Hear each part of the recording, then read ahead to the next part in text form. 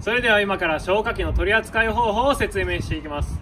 今日使うのはこの訓練用消火器と訓練用の的を使って説明していきます。消火器の使い方はとっても簡単です。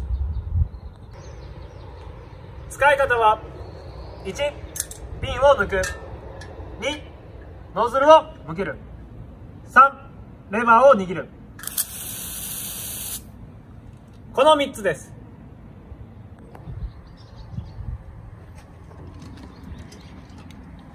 火事を発見したらまず大きな声で助けを呼びましょう。消火器を持ってきたら3メートル以上離れた場所から消火をしましょう。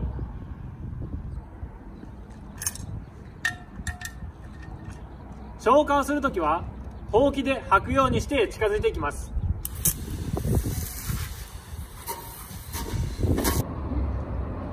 ここでワンポイントアドバイス。消火をする際は火にかけるのではなく燃えているものに直接かけましょう。では実際の消火器を使って火を消してみましょ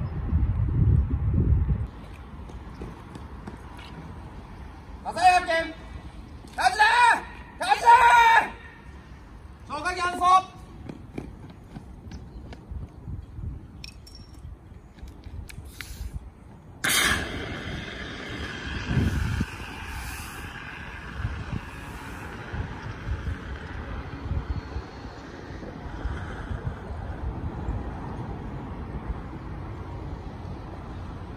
よしはい。これで消火器の使い方は分かりましたね。最後に1つだけ。もしも火が壁や天井に燃え移っていたら消火をやめて避難してください。